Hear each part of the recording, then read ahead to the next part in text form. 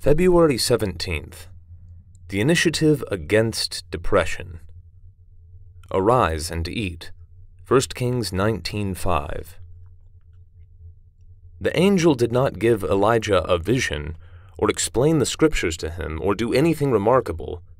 He told Elijah to do the most ordinary thing to get up and eat.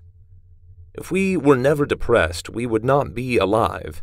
It is the nature of a crystal never to be depressed. A human being is capable of depression, otherwise, there would be no capacity for exaltation.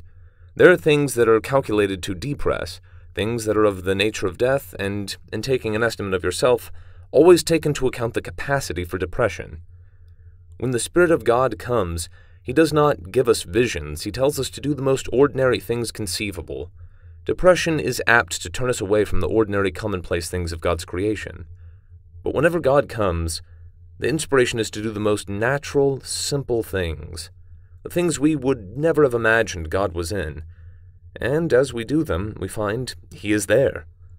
The inspiration which comes to us in this way is an initiative against depression.